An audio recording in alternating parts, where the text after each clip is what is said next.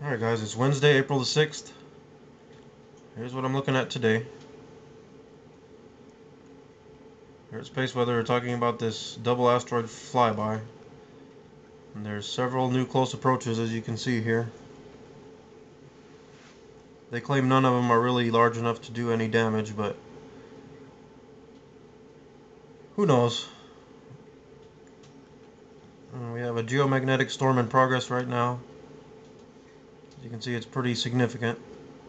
This is most likely due to that huge CME they had a couple days ago. Here we have the internet seismic servers back online, but as you can see, the data is incomplete. Lots of missing data here. So they could be having technical issues, or maybe it could be something more. I have this story here FBI memo reveals ABC News journalist was treated as an informant. A declassified FBI memo revealed today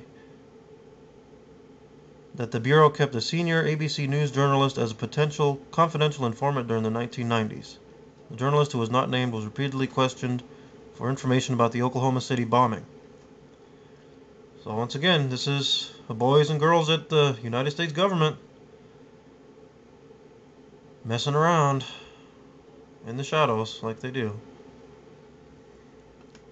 And lastly here, I want to discuss these radar anomalies that everyone seems to be bringing up here and there. This is a recent one over Australia.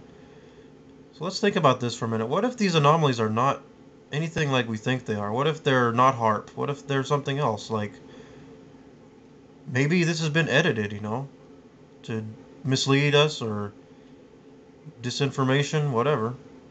Or, you know, what if this is a dimensional object that is beyond our viewing capacity? You know, so many don't believe anything until they see it, they hear it, they smell it. There's a lot of things that our senses can't perceive, so just put it into your brain, people. Maybe maybe it's not HAARP. I'm not saying it is, I'm not saying it's not, but it could be something that maybe we have no idea at all, you know. As soon as anything happens, everyone's quick to blame HAARP. And there's no doubt some malicious goings on at the HAARP facility. And they're not telling us everything that's going on, but keep your mind open, people. More to come.